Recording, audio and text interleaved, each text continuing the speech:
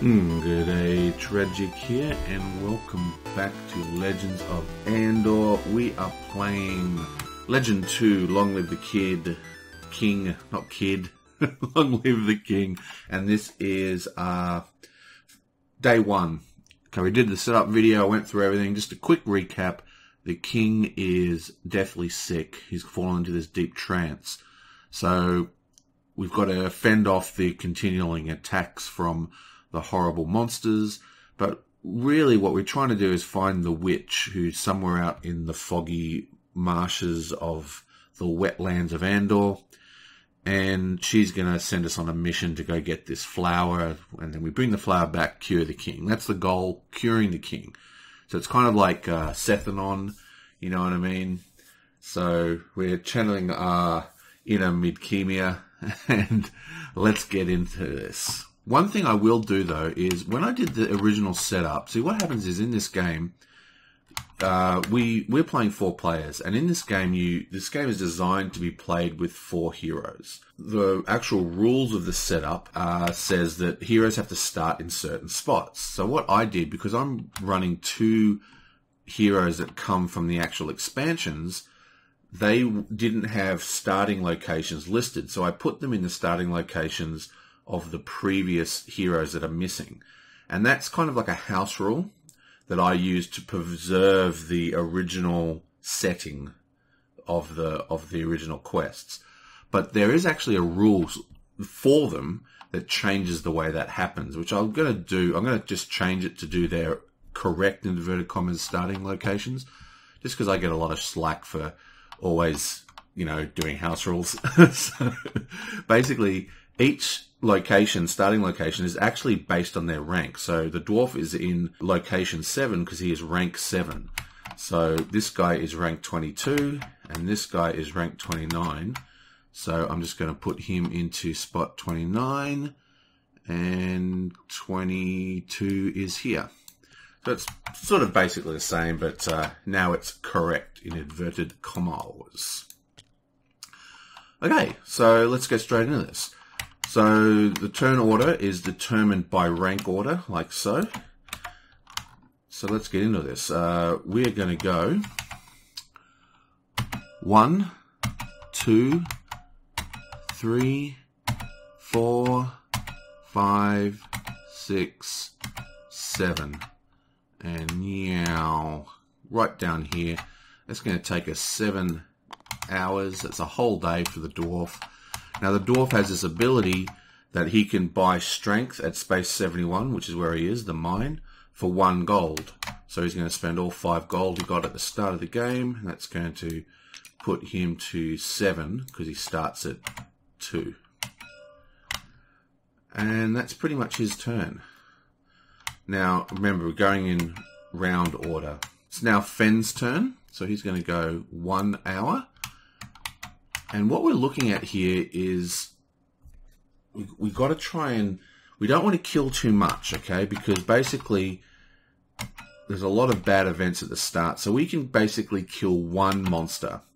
We don't want to kill two monsters because then this star token will will uh, trigger before the sunrise. So if we can if we can only get get away with killing one monster, the monster movement phase, which happens during the sunrise box, will not affect the monsters coming out of the star token because the moving the narration is at the end after monster movement has completed.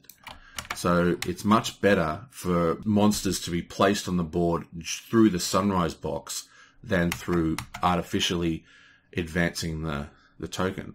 So if we look over here, we can basically see we've got two turns before people start getting to our castle. So 20 is going to, 19 is going to move to 3, and 20 is going to move to 1, 21 is going to move to 4, and 8 is going to move to 7. So we've got one whole turn. So if we can just take one of these guys out, we'll be fine. The other thing we want to do is get this peasant into the castle. Now the peasant, once you get the peasant into the castle, he joins the militia and we get an extra shield token revealed which is awesome. But the rules are anytime a peasant shares a space with a monster, even if he's being escorted, he instantly gets discarded. So this wall of monsters here is the problem. So we're going to take these guys out. So we spent our one movement and I'm just going to move friend up here into 21 and we can kill that and that's going to leave a path like this into the castle. What was I saying? We've moved. Now, monsters do not attack until after the players initiate combat, so they never attack unless we actually ask them to. Right, next person up is the mage. Now, the mage is going to spend his hour to summon and activate the water spirit, which gives it four movements. So that's one, two, three, four. Send that to the same location. Now, the water spirit basically acts the same as a ally. So you have these standard actions. You can move, attack, or you can pass. They're kind of like the standard actions. So the water spirit functions like the move ally action, which is another standard action. So it takes up your turn, basically. Which means that Keelan can be really, really slow because half the time he's moving the water spirit instead of himself which is fine because the water spirit's kind of good. Okay, so anyway, so he's done that, and now it is the mage's turn. The mage is going to go one, two, three, one, two, three, into that same area. Okay, now the dwarf is going to pass. He goes onto the, you know, the cockatoo space or whatever it's called. And then Fen is going to activate for a combat for one hour, and we're also going to activate the mage to assist him, so he spends an hour as well. Okay, so combat works pretty simply. You just have to roll two dice in this particular case. And I think we're going to keep the five. We have a, the mage allows us to sort of fiddle with things. So we've got a five, and because the water spirit is at the location, one of the heroes at the location can choose to roll the water die instead of his own die. So the water die works really, really well with Aurora. Okay, so let's uh, Yablamo. Five. Okay, so the opposite of the five is the two, which is actually a six. And that's what her ability does. It just means that she can flip a flip a result around, and you, it's very easy to tell what the result's going to be because you just add it up to seven. So we rolled, and basically, if you can see the mouse over, the mouse over actually is showing what the original D6 would say. So it's saying a two, and what we originally rolled was the five. Point is, we rolled an 11 plus two strength for Fren and two strength for Irara. So that's another four. That's 15. Now we're fighting uh, Gor, which has two strength. So the highest possible strength that a Gor can have is 8, 6 plus 2. And because we've rolled 15 and he only has 4 health, anything higher than a 12 is an instant kill. So I'm not even going to bother rolling for this guy. Boom, he's dead, and boom, this goes up one. This little icon to remind you to move the narrator. Okay, and when you beat someone, you get the choice of taking a combination up to two. So you can either have two will or two gold, or in this case, which is two, like this guy's six, right? But the point is you can have any combination as long as it adds up to two. So I could take one will, one gold. I'm going to take two gold and send that to the mage. Right. Now it is actually Keelan's turn. Uh, actually, you know what I'm going to do? It's still Friend's turn, and he's going to activate his Hawk. Now, this allows us to peek at any location once a day any face down token. So let's have a look at this one.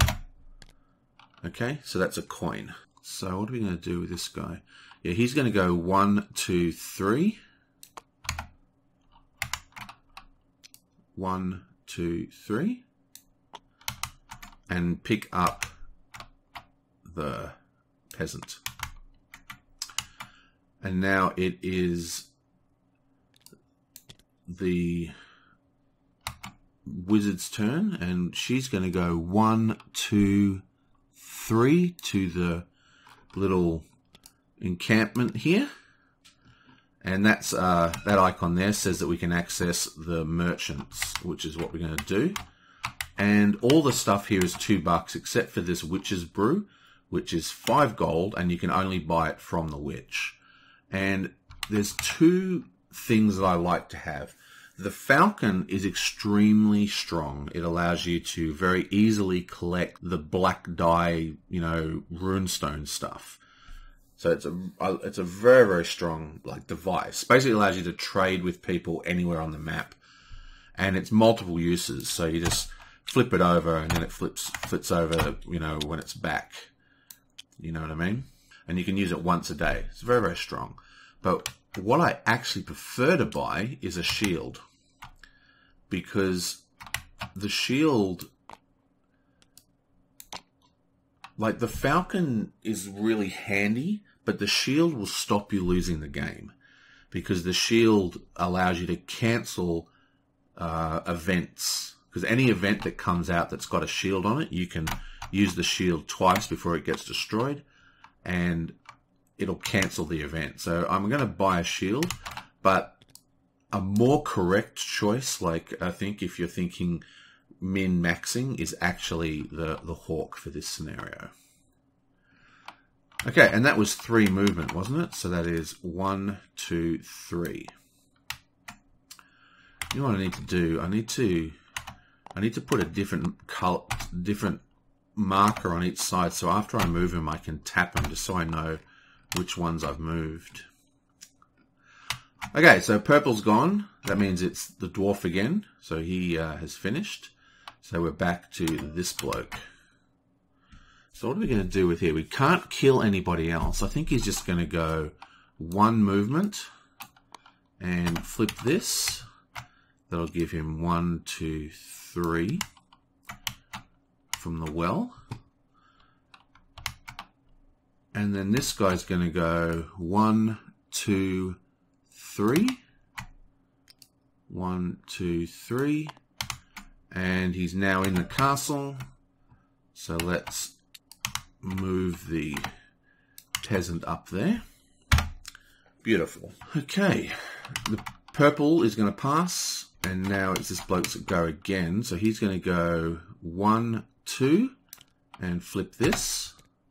Oh, plus two stuff. That's one, two. Remember, we're looking for the uh,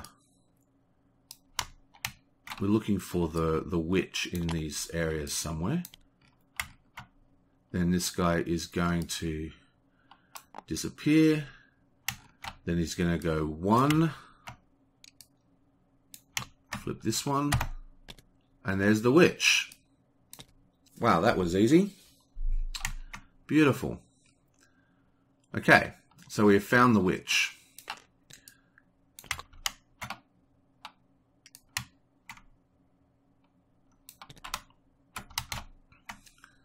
So now we activate this card. Yoink!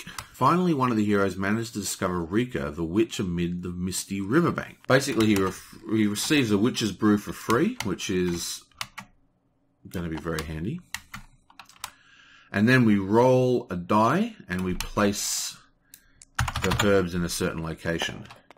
So we rolled a 4, which means the herb and the gor goes in space 61, which is not a good spot. spot. That 61's like right over here somewhere. There it is. So that's the gor and the herb. So we've got to get all the way over there and then get it all the way back. Again, be very, very handy to have that hawk. Okay, fine. Now everyone else has passed.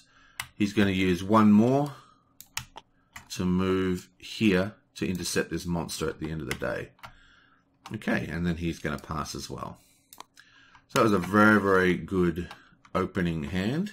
Uh, picking up the witch. Right, so first thing we do now is reveal an event. So let's draw. Merchant ship reach Andor's coast. A hero who occupies or enters space 9 by 2 strength points for 2 gold. This card remains in 9 until it, make, it happens. So where is 9? Oh, 9 is right up here. Right next to our hero. That's handy. That is definitely 9, yep. Sweet. And now all the monsters move. So 48 moves to 16. 20 moves to 3. 19, uh, sorry. 19 moves to 3. 20 moves to 1. So you move from lowest first, and if there's ever a monster in the space, the next monster sort of goes to the next one. So 19 moves, then 20 moves. Oops, there's someone there. And that's at 1. And this guy moves to 25. So that's that. And now we refresh the well. There is a well to refresh. And this thing moves up one more. And we activate C. The King's Scouts discover the Skral Fortress. Okay, so this is basically saying roll a die, add 50 to it, and put the fortress there. Locked. Let's just go. Your blammo rolled. So we get a 1 plus 50 is 51. So that means it goes here. And we have to place a Skral on top. Now, this bit is the killer. We're playing four heroes, so he has a strength of 40 to represent that fortified castle. So I've, I've put a mark on the map here to remind me. So that's how strong he is. And that's quite huge. I mean, we had 14 strength when we fought that first monster. So we need 40 strength before we can even kill him. So basically, we have to be able to produce more than 46 strength because uh, he has 6 strength himself. The Skral does it, you know. So we've got to produce at least 46 strength. Defeat the Skral on the tower. After he is defeated, immediately advance the legend marker to end. So we need to do all the herb stuff before we go for the tower. And there is more disturbing news. Rumours of war dogs approaching from the south. They have not been sighted, but more farmers are requesting asylum in the castle walls. Place a farmer at 28, which is down here. Okay, C2.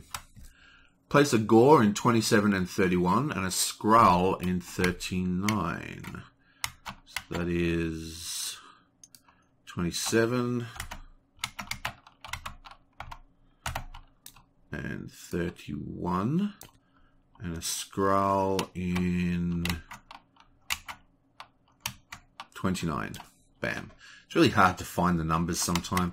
I actually wrote a little tool to help you out. So if you like, just type in 61, it'll fly over and find it. Because sometimes it's really hard to find things, find the numbers because they're not in sequential order. It's just such a craziness. Okay, the place the prince at the 72 in the tavern. Yoink. Nice. The prince is out. Now, the prince acts just like the water spirit. You can use the move ally function instead of your normal standard action, and he just adds plus four strength to whatever. But don't get excited, he can't help us with the Skral because he's pretty transitory. He runs away pretty soon. So he's the same, he can move uh, four spaces. Okay, legend objective. The party wins a legend if the legend marker reaches the letter N on the legend track and the following conditions are met.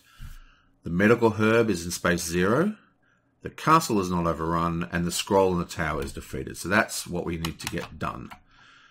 So we're pretty ready to go. There's one more token that brings out some more monsters, and this is the star token for the runes, which also brings out monsters.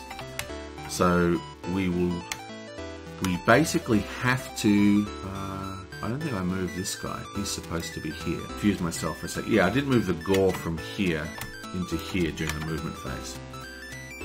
So we've only got two spots and we have two war dogs coming. Okay, so that is the end of the turn and I will see you guys next time.